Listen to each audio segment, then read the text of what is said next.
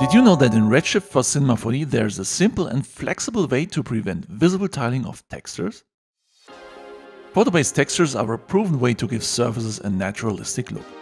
This is especially the case when it comes to textures that are based on 3D scans and therefore cover different aspects of a material such as roughness, normals, albedo, etc.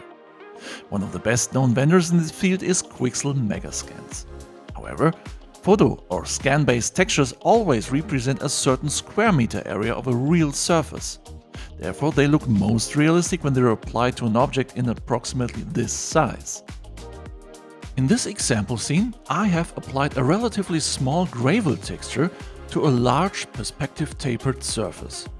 In such case, texture repetitions quickly become visible and prevent a realistic result.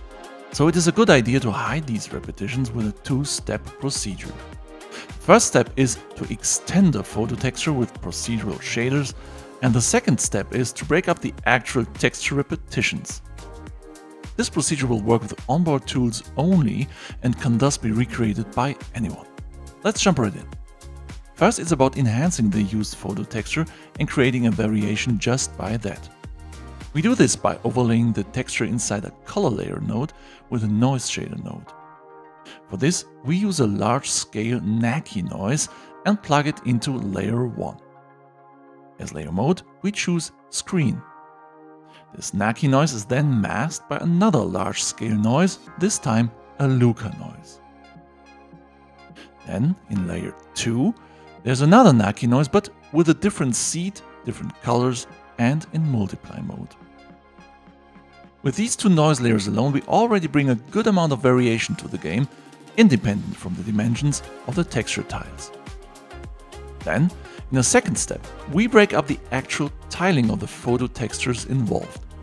For this, we have to use a copy of the node setup shown so far. In this copy, we go to the texture nodes involved, vary the scale x value to minus 1, and thus create a horizontally mirrored variation of these textures. We then merge the node trees of both materials into one material blender node. There, we mask the second material with a large-scale turbulence noise. As a final result, two different materials masked by a noise lie on top of each other and thus form a composite material that's richer and more diverse than the sum of its parts. This procedure can of course be extended by further varied materials added to the Material Blender node. By the way, as a visual trick for avoiding visible texture repetitions, the effect of cast shadows should also be mentioned at this point. These shadows naturally provide visual variation. Please have a look at the finished project, Liebherr Innovative Drive Technologies, via the link below.